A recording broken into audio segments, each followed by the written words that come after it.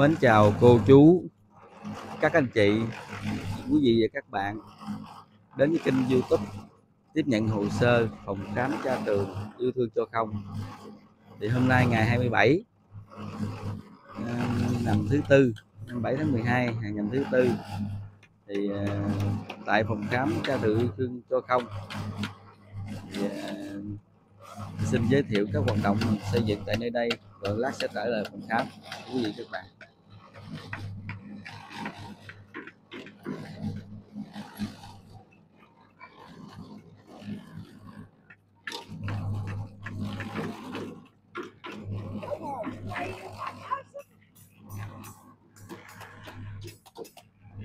đây là công trình à, phòng khám. À, được à, chung là phục chế xây dựng lại. Thì kiến trúc cũng như à, nói quý vị là cũng giống như phòng khám cũ. Thì hôm nay em đã đổ ờ, đà chân móng rồi giờ chuẩn bị ờ, đóng ờ, để đổ cột luôn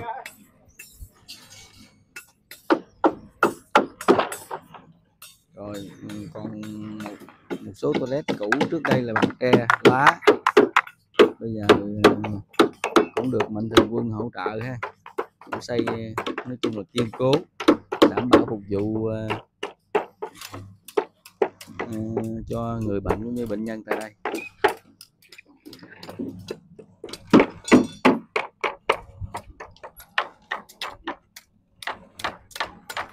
Sau lưng là tường rào quý vị?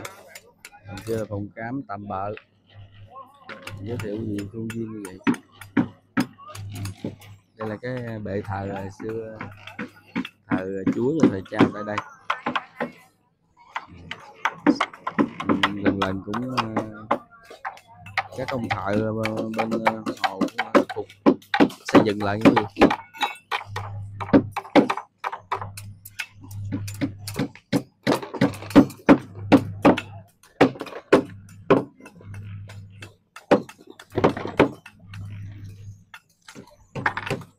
hoạt động xây dựng vẫn tiếp diễn.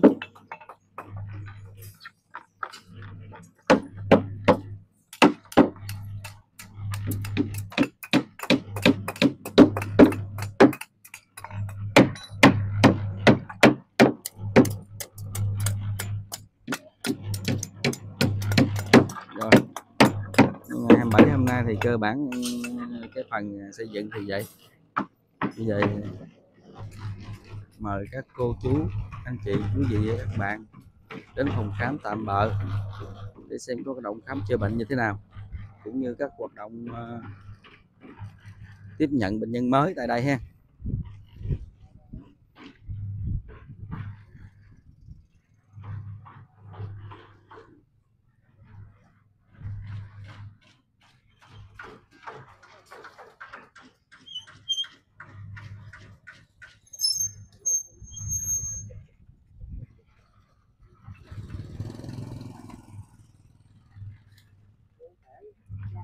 Rồi, người bệnh và người nuôi lấy thẻ, đang chuẩn bị vô khám bệnh cái gì?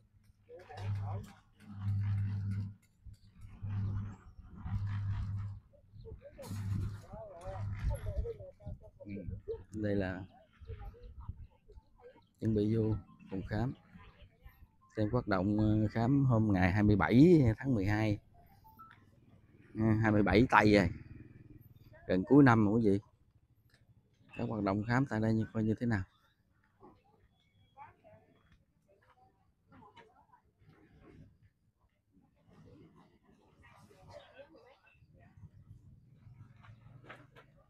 Đề phòng của thầy à, Nguyễn Tấn Thanh. Sĩ Nguyễn Tấn Thanh.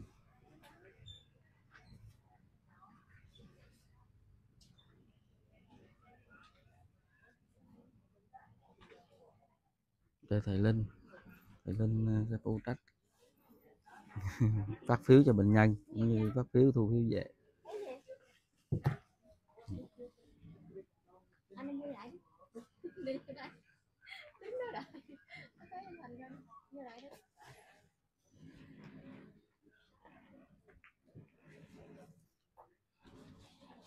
Đây là phòng ờ, thầy Châu thầy Châu đang ờ, thầy Châu là ờ, cử nhân dược ừ, Tây y như cái gì?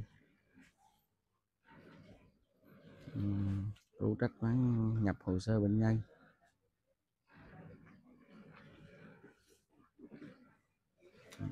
Công việc ờ, tại phòng tiếp tiếp nhận hồ sơ.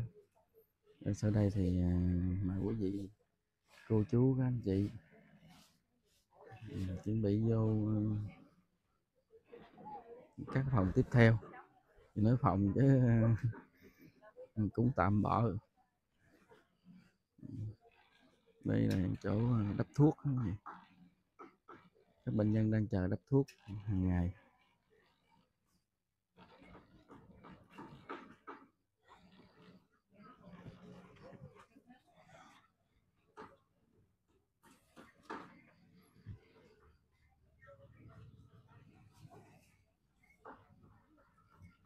Chú thấy hôm nay khỏe không chú? Chú đắp thuốc ừ, chú vô bao lâu chưa? Vô này tháng rồi. Chú họ tên gì ở đâu chú? Ở đến Minh Lộc Đồng Nai. Bệnh gì chú? Bệnh ờ, ung thư hạch. Đắp này chú thấy sao? Bớt nhiều lắm rồi. Thầy Rồi trở lại đây khám bệnh chú thấy các thầy như thế nào chăm sóc? Thầy thì chăm sóc bệnh nhân rất là tốt hôm nay chú đỡ rồi khỏe rồi thấy ờ, về trước tết không chú? Chắc có lẽ về trước Tết á. À, à, hôm bắt đầu mà trước khi vô đây bệnh tình chú như thế nào? Giờ giờ thế nào chú? Để thôi bệnh tình chú rồi hôm nó vô đây nó bèo nhào dữ lắm. Đi không nổi mà. Thành ra bữa nay ờ, bó thuốc cả tháng này thấy bớt nhiều đỡ nhiều lắm rồi. Dạ, đỡ lắm rồi chú. Dạ. mấy thầy ở đây chăm sóc rất là chu đáo. Dạ, dạ. hiểu không ạ nếu có mà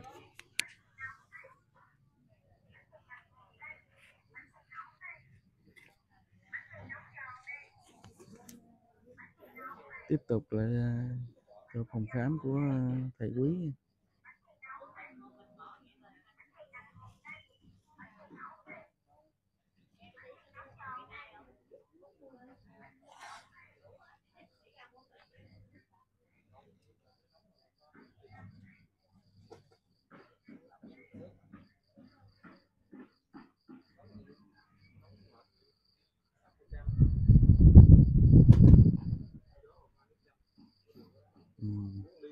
bé gái 12 tuổi ha mới nhập viện hai ngày trước.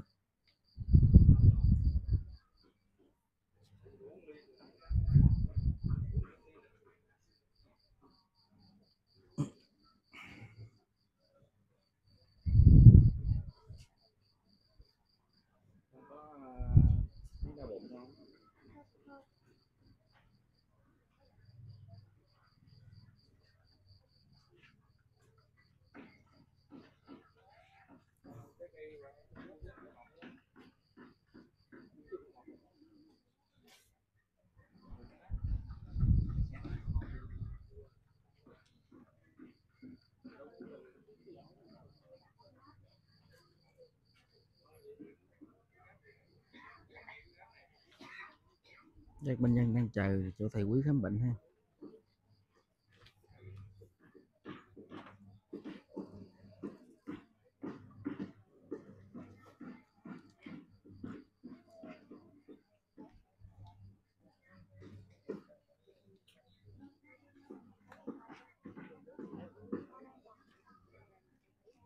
Bệnh nhân cũng như người nhà bệnh nhân.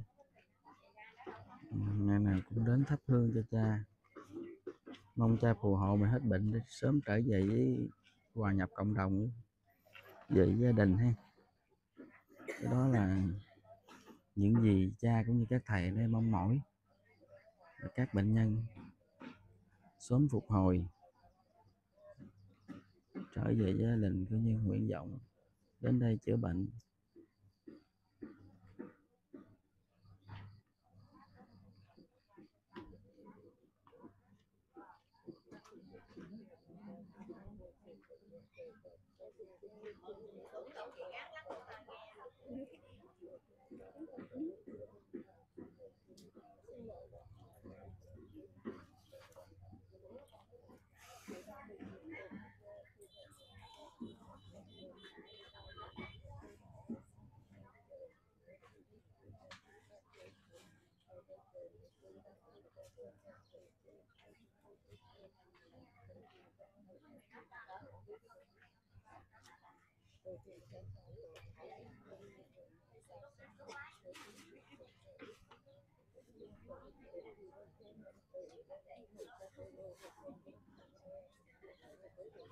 Ừ, các bệnh nhân cũng đến đây tuy rằng như nói hôm qua, tuy rằng là mộ cha không phải ở đây, nhưng mà cha luôn lúc nào cũng phù hộ các bệnh nhân cũng như người bệnh ráng giữ gìn phát đồ mà cha cũng các thầy đã dặn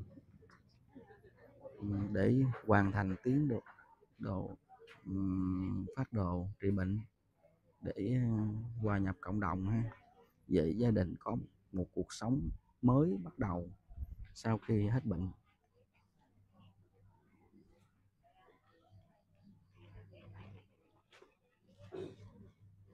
Đây, cho phòng cho thầy à, võ di tuyến ha.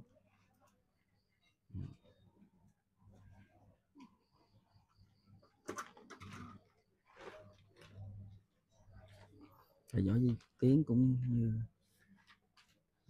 đang khám bệnh cho các bệnh nhân.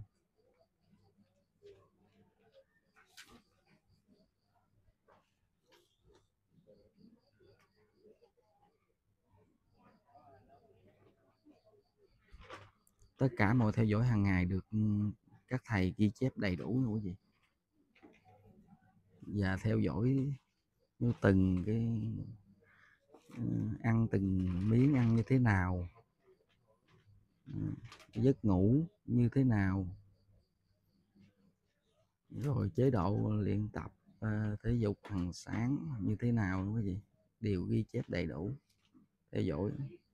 Rồi ờ, đo huyết áp cũng như các diễn biến của ờ, lâm sàng của ờ, các bệnh nhân.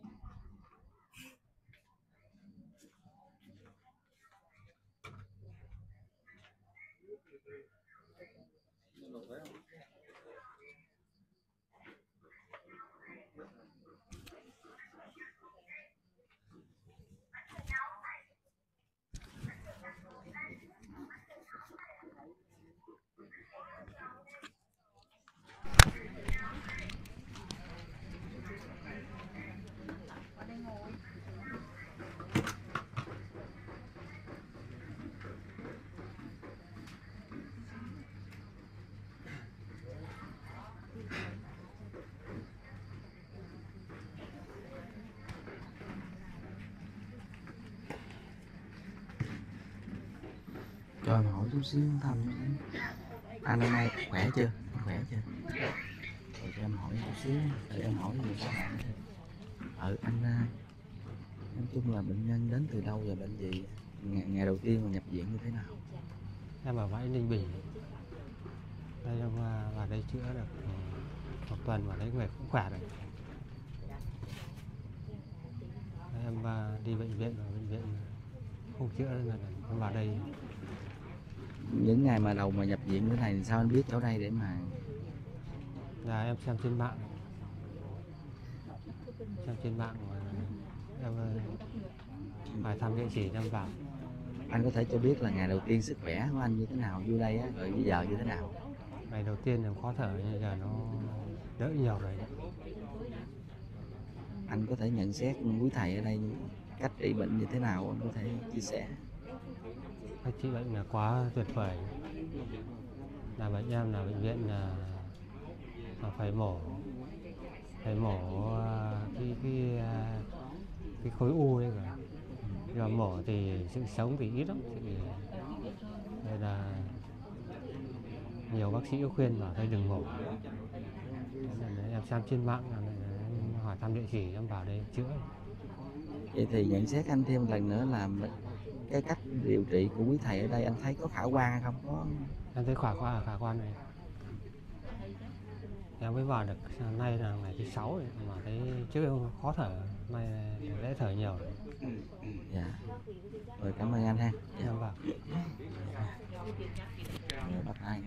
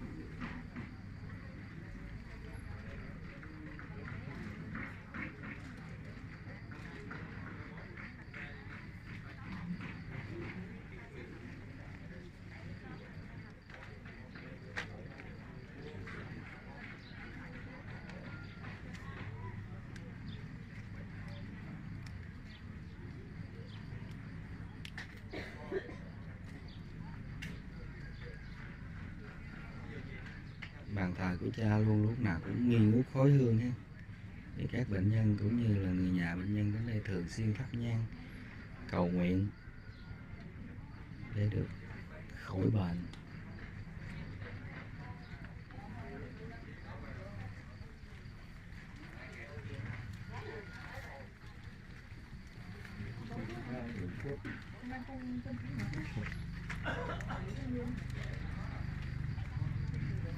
cho em hỏi anh vài chuyện vài câu ha.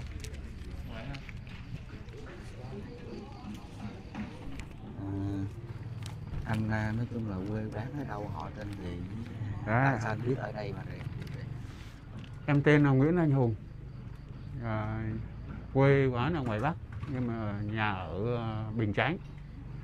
Thì cũng à, nghe một cô à, chữa bệnh à, ở đây đã lành bệnh và đã được cái thông tin của cô ấy và đã xuống đây. Nhưng xuống đây thì, thì không được nhận bệnh bệnh ở đã không không nhận bệnh nữa. Mà ở đây muốn nhà trọ là hai ngày mới ở bên này mới nhận bệnh mới được nhận bệnh. Và đã được à, một tuần nay hôm nay được một tuần lần đầu tiên á, anh vô ờ, khám bệnh thế này á, là tình trạng sức khỏe thế nào? Anh mang bệnh gì à, em người bệnh ung thư vú. Giai đoạn cuối rồi giai đoạn 4 đã hóa trị ở bệnh viện là 5 năm. Ừ. Dạ. và không có khỏi. Và được à, thông tin này em đã xuống đây. Và mong muốn được chữa bệnh đến thời điểm này thì, sức khỏe của anh như thế nào? Và anh thấy cách cái điều trị của bác, bác nói chung các thầy đây là ra sao? Anh có thể chia sẻ. Dạ, em à, hôm nay thì cũng được à, hôm nay được một tuần. Thì em thấy các thầy cũng có tận tâm gọi là chữa bệnh. Em cũng thấy hài lòng và rất mong muốn à, được lành bệnh anh thấy cái hướng mà trị của các thầy đấy đó anh thấy có tương lai đối với bệnh của anh không vậy? Thì nói chung là em cũng rất tin vào các thầy. Cũng có chiều hướng là có tiến triển tốt. Mong muốn là các thầy ừ, cố gắng là chữa chứ cho nhiều bệnh nhân được khỏe mạnh. Bây giờ ví dụ như cái tình trạng anh như thế này thì anh khuyến cáo những bệnh nhân mà kế tiếp mà chuẩn bị vô vào đây á như thế nào? Anh có thể chia sẻ.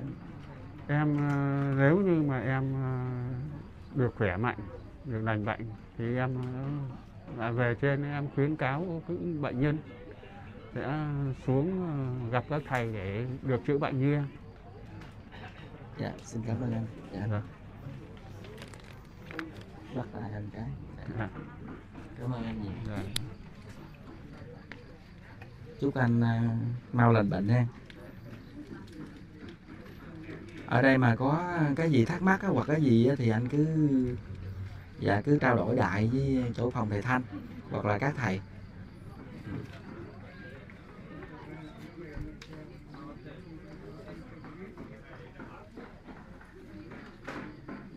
bữa nay khỏe chứ em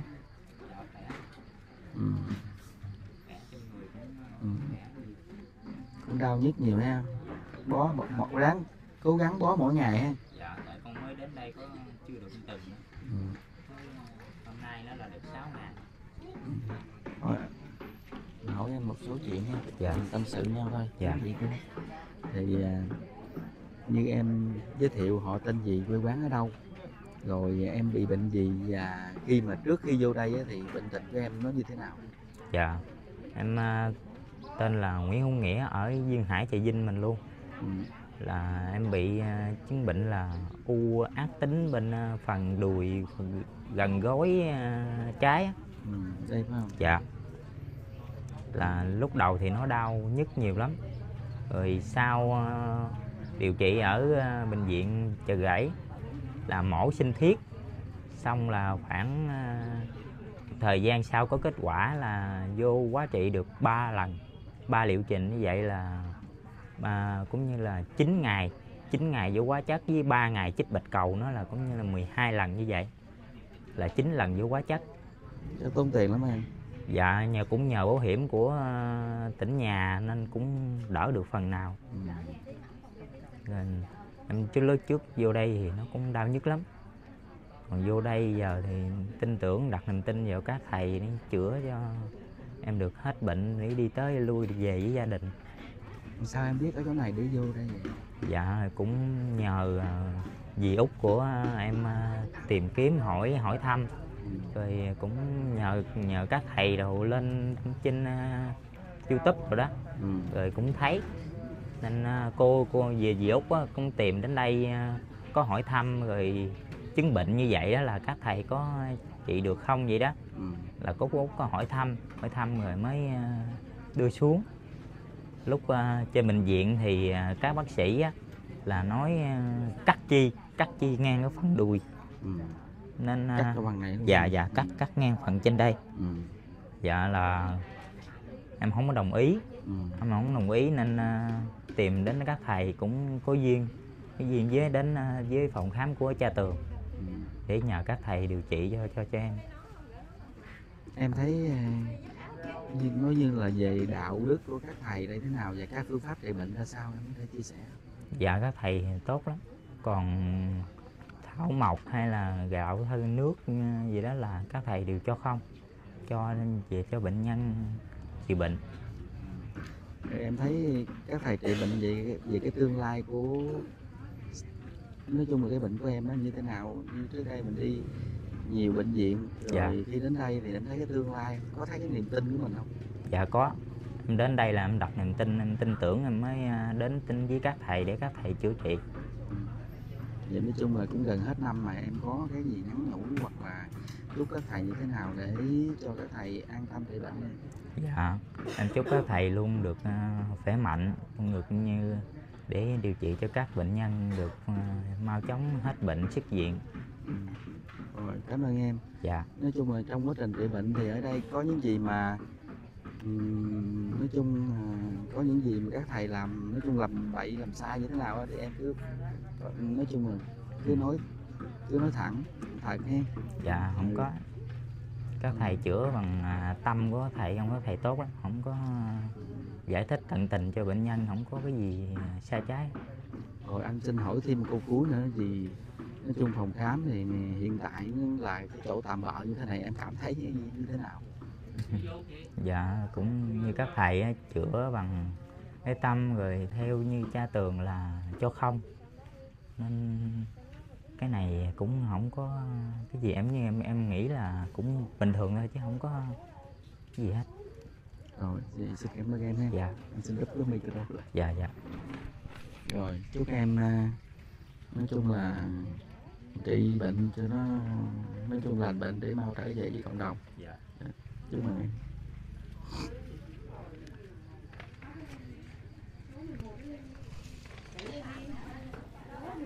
Thank you.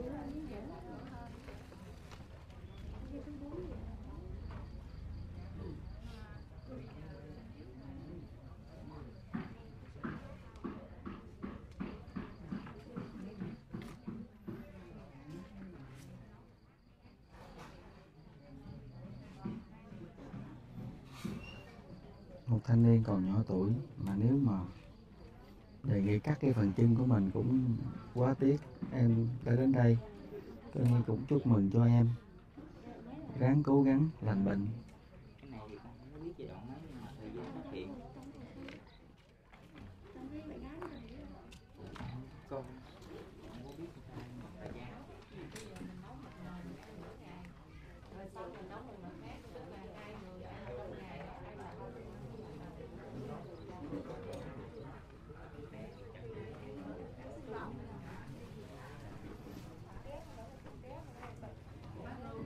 coi các hoạt động khám chữa bệnh. thì tới đây cũng xin kết thúc video. Ngày điểm tin cái ngày 27 tháng 12 cũng gần cuối năm rồi mà bệnh nhân đến đây cũng khá đông. Xin cầu chúc các bệnh nhân. Cha Pedro luôn luôn đứng để phù hộ cho các bệnh nhân cũng như người nhà bệnh nhân sớm hết bệnh, trở về gia đình, có một cuộc sống tươi đẹp mới. Xin chào và hẹn gặp lại quý vị, các cô chú anh chị.